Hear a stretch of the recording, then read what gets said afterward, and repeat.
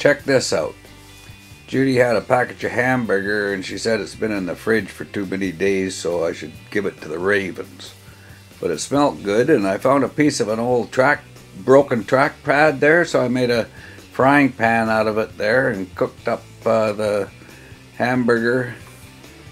So I had a hamburger for lunch and I got a couple cooked up for uh, tomorrow and the next day.